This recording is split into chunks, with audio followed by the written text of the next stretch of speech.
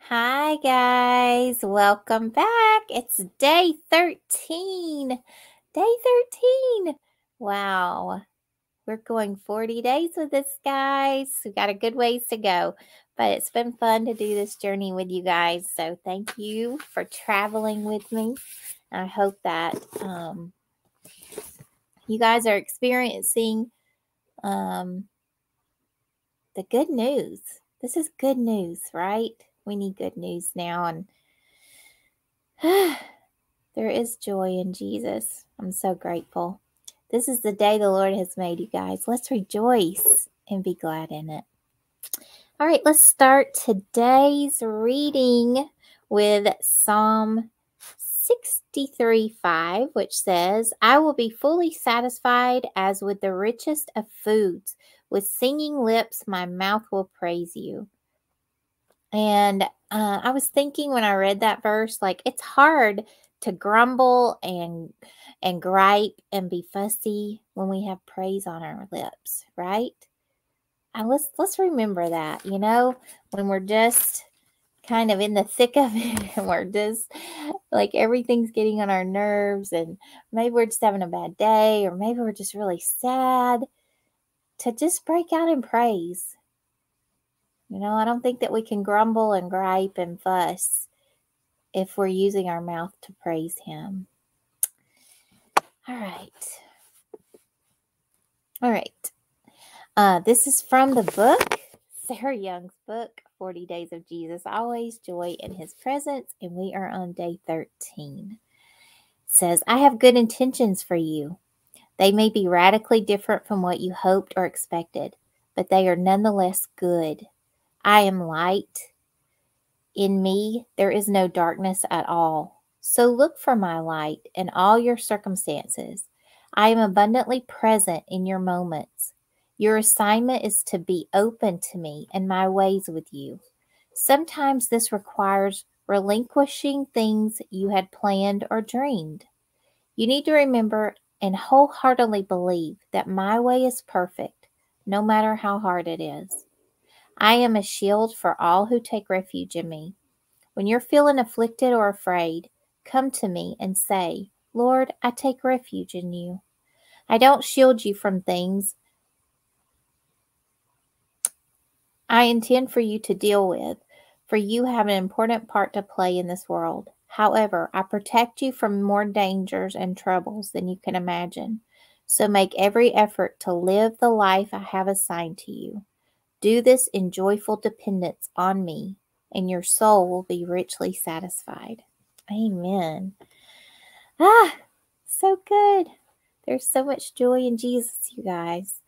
All right, in Psalms 18:30 it says, "As for God, his way is perfect. The Lord's word is flawless. He shields all who take refuge in him." Amen. And you guys, Sarah uses scriptures at the end of every entry, and it's how she wrote that entry. It's as if Jesus is speaking to us. She takes that scripture and writes the devotion.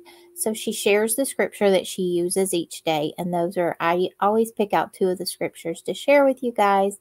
And sometimes I remember and sometimes I forget to share the other scriptures that she has down. Um, which is First John 1 5 and um, 1 Corinthians 7 17. And if you want to take the time to read those, that would be awesome. Um, and may it be a reminder of not all days are good, right? Not all days are good, but God is in each day and He is good. So let that be a, a reminder. And that, you know, no matter what circumstances we face, we go through, that God is there. He's in control. And I just love the part that says, however, I protect you from more dangers and troubles than you can imagine. It just reminds me of like, you know, He keeps His angels all about us, right? And uh, recently, Gigi and I were riding in the car, and a car pulled out right in front of us.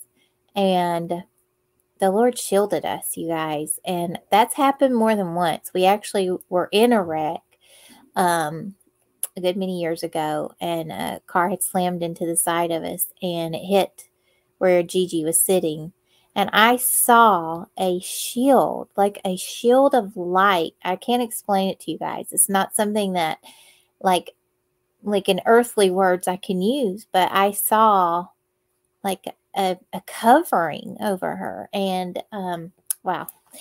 Ah, it brings tears to me today just to still think about that. So he's with us, you guys. He's with us. And, you know, I think that there's so many times we just feel like, you know, is he there? Is he with us? And boy, just think of the things that he protects us from that we are unaware of. He's always looking out for us, you guys.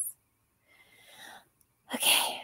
Father, thank you. Thank you that you have good intentions for us. Thank you that you're watching after us. Thank you for your shield. Thank you for your angels. Thank you for your covering. Thank you, Father, for saving us daily from harm. There's joy in that. It doesn't mean that each day doesn't have pressures or hard things that we face. It's there. But Lord, you are there to protect us. You're there to raise us up. And I praise you for that. Thank you, Lord. I love you so much. Thank you. Our Father who's in heaven, hallowed be thy name. Thy kingdom come, thy will be done, on earth as it is in heaven. Give us this day our daily bread. Forgive our sins as we forgive those who sin against us. Lead us not into temptation, but deliver us from evil. For thine is the kingdom, power, and the glory forever. Amen. Amen, you guys. I love you guys so much. Thank you for being here. I'm so sorry that these devotionals are getting a little bit longer. Y'all know I try so hard to keep things short and I just never can seem to do it. But I love you guys. Thanks for sticking it out. And I hope you have a wonderful rest of the whatever. And um, I love you and Jesus loves you so, so, so, so, so much more. And don't forget if you meet me and forget me, you've lost nothing. If you meet Jesus and forget him, you've lost everything. I love you guys. Bye.